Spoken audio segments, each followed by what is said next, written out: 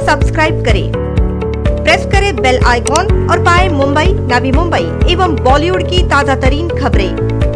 छात्र भारती को, मुंबई को, महाराष्ट्र को, जिस तरह से इन्होंने दिखाया है कि ज़िंदा कौम है, उन सबको अलीगढ़ मुस्लिम यूनिवर्सिटी का सलाम पेश करता हूँ। वालेकुम।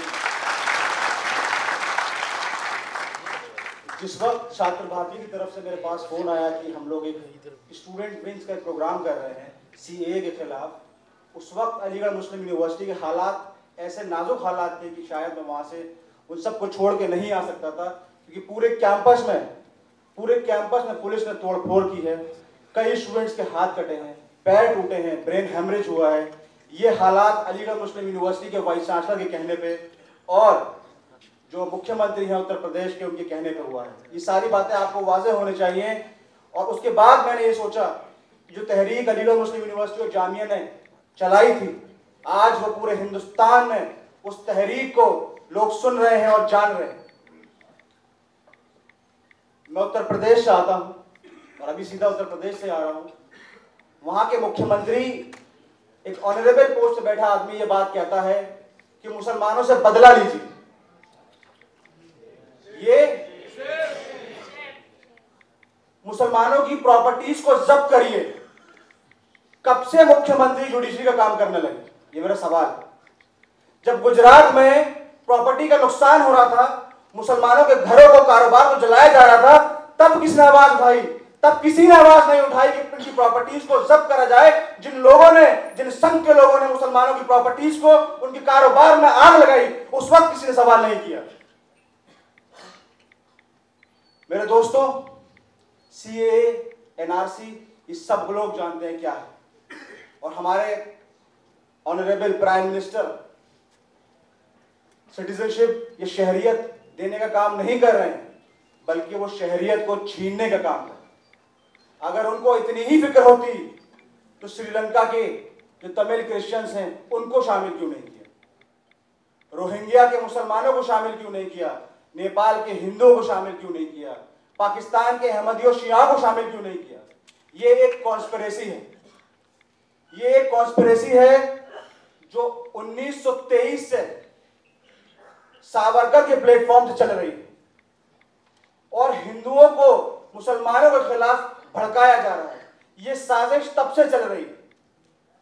हमें और आपको जिस नाम के लिए हिंदुस्तान मशहूर है, गंगा जमुनी तहजीब यूनिटी इन डाइवर्सिटी उसको बचा के रखना है।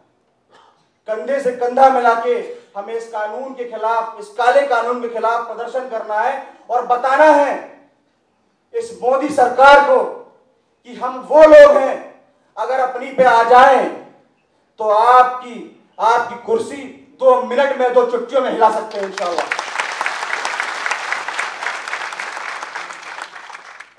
उत्तर प्रदेश के हालात, शायद आप लोग वाजे हों या ना हो, मैं बता दूँ आपको। कि वहाँ पर 19 मासूम बच्चों की जो प्रोटेस्ट में शामिल नहीं थे, उनकी मौत हो चुकी है। घरों से उठा के उनको गोलियाँ मारी जा रही हैं और पुलिस ये कह रही है कि हमने कोई गोली नहीं चलाई। जिन बच्चियों की शादी होने वाली थी, उनके घरों में दहेज के लिए जो माँ बाप ने सामान इकट्ठा कर रखा था, पुलिस वो तक ले गई। दाढ़ी पकड़ के, मुसलमानों की दाढ़ी पकड़ के उनसे कहा जा रहा है कि तुम आतंकवादी हो तो पाकिस्तान चले जाना चाहिए। सब लोग के सामने है वो मंजर, जो जिस तरह से मेरठ में एसपी साहब ये बात कह रहे थे कि पाकिस्तान चले जाओ। मुसलमान बच्चियों को तंग किया जा रहा है उत्तर प्रदेश में। और उत्तर प्रदेश के मुख्यमंत्री खामोश हैं। और ये बात कहते हैं कि बदला लेंगे। मेरी दरख्वास्त है महाराष्ट्र के लोगों से, क्योंकि आज मैं इस तारीखी ज़मीन से ये बात कहना चाहूँगा कि जो जज्बा महाराष्ट्र के लोगों ने दिखाया है, उसको मैं सलाम पेश करता हूँ।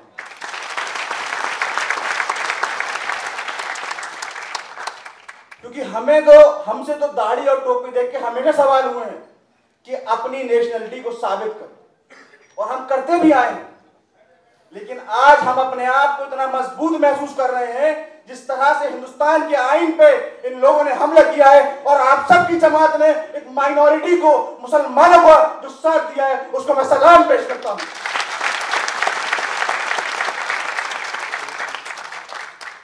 वक्त, ये बात हमसे कह रहा है कि इस कानून को समझें और आपस में मशवरा कर लें कि जब तक जब तक ये काला कानून वापस नहीं लिया जाएगा चाहे हमें जान की कुर्बानी भी देने पड़े इस मुल्क की खातिर, हम दोबारा से देंगे, लेकिन हिंदुस्तान को दोबारा बटने नहीं देंगे।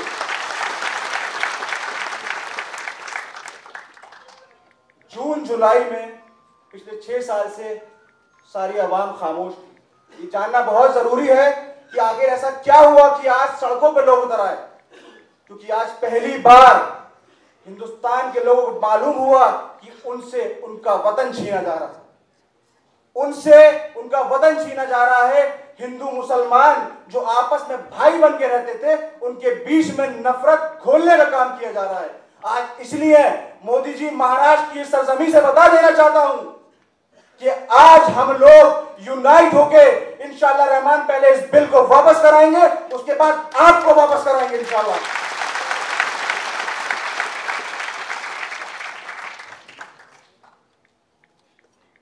और आज मैं आप लोगों से अपने दिल की बात कहना चाहूँगा कि जिस तरह से मैं महाराष्ट्र में पिछले तीन साल से तो नहीं आया, और आज आके मैं महसूस कर रहा हूँ कि मैं दाढ़ी भी देख रहा हूँ, तिलक भी देख रहा हूँ, टोपी भी देख रहा हूँ। और वाकई मुझे फक्र है कि ये मेरा देश कोई बुलाए उन शहनशाह को। कोई बुलाए उन शहनशाह को और दिखाए कि यहाँ लोग दाढ़ी टोपी तिलक में बैठे हैं एक साथ, और जो आप काम कर रहे हैं नफरत घोलने का, वो नहीं चलने वाला इंशाला हम लोग अलीगढ़ मुस्लिम यूनिवर्सिटी या जामिया मिलिया इस्लामिया इस वक्त उस हालात से गुजर रहे हैं कि अल्लाह ना करे कि किसी पे वो वक्त आए। हमारे कैंपस में अनडिक्लेयर सैनिटाई इम्पोज करी जा रही है। कैंपस को खाली कराया जा रहा है। मुझे भी सीने पर रबर बुलेट हिट करी। और इस तरीके से मैं बता दूँ आपको कि थानों में ले जाके अब तकरीबन सौ बच्चों को उनकी दाढ़ी पकड़ के ये बात कही गई है ऑन रिकॉर्ड है, हम लोगों ने रिपोर्ट भी शामिल की है कि तुम पाकिस्तानी हो, तुम आतंक फैलाने आते हो। और एक बच्चा, जिसका मैं नाम नहीं लूँगा, जो गैर मुसलमान था, वो उस भीड़ में शामिल था जो प्रोटेस्ट कर रहे थे। उससे कहते हैं कि इन गद्दारों के साथ मिलकर तू भी गद्दार हो गया। मतलब जो इनकी भाषा नहीं बोलेगा, वो गद्दार है। असल बात तो ये है कि तुम सब गद्दार हो, जो सरकार में बैठे हो। आज, इंशाल्लाह, हम सभी लोग इस बात का वचन लेते हैं कि हिंदुस्तान के आइन पे कोई भी हमला होगा, इंशाल्लाह मिलकर लड़ाई लड़ेंगे। अपनी बात को मैं खत्म करना चाहूँगा शेर के साथ, क्योंकि अलीगढ़ से हूँ, आदत है। दुश्मन की गोलियों का हम सामना करेंगे। दुश्मन की गोलियों का हम सामना करेंगे। आज़ाद ही रहे हैं और आज़ाद रहेंगे, इंशाल्लाह रहमान।